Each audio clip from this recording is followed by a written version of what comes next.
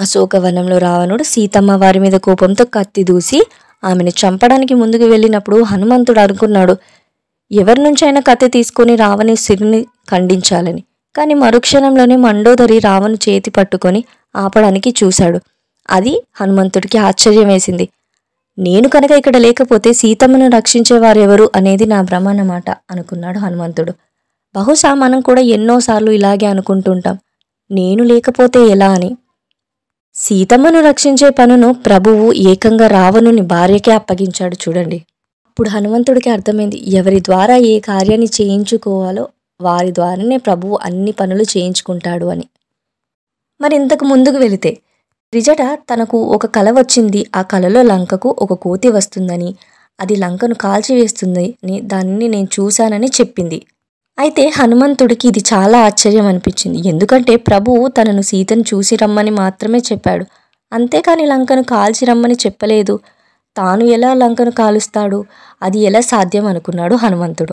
అయితే త్రిజట ఇది తన స్వప్నంలో చూశాను అని చెప్పింది. తను ఇప్పుడు ఏం చెయ్యాలి?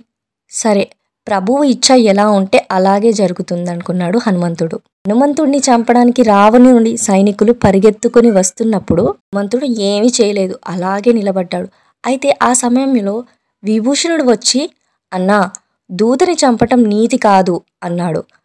అప్పుడు హనుమంతుడికి అర్థమైంది తనను రక్షించే భారం ప్రభువు విభూషణుడిపై ఉంచాడు అని.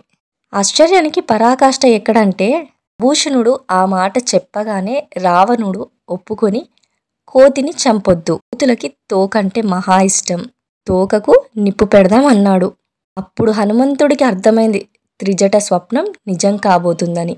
ప్రభువు నాకే చెప్పి ఉంటే నేనెక్కడి నుంచి నూనె తీసుకురావాలి? ఎక్కడి నుంచి గుడ్డలు తీసుకురావాలి? ఎక్కడి నుంచి నిప్పు తీసుకురావాలి? ఎప్పుడు లంకను తగలబెట్టాలి?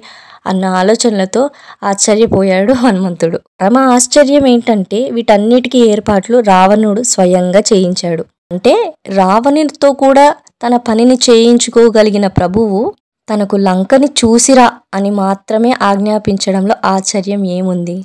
అందుకే ప్రియభక్తులారా ఒకటి గుర్తుంచుకోండి. ప్రపంచంలో జరుగుతుందంతా ఈశ్వర ఇచ్చ ప్రకారమే జరుగుతుంది. మనమంతా కేవలం నిమిత్ర మాత్రులం. అందువల్ల నేను లేకపోతే ఏమవుతుంది? భ్రమలో ఎప్పుడూ పడవద్దు. నేనే గొప్పవాడిని అని గర్వపడొద్దు. భగవంతుడి కోట్నా కోటాను కాకోట్లలో దాసులలో ఒక చిన్నవాడును అని ఎరుక ఎరుక కలిగి ఉందాం. జై శ్రీరామ్.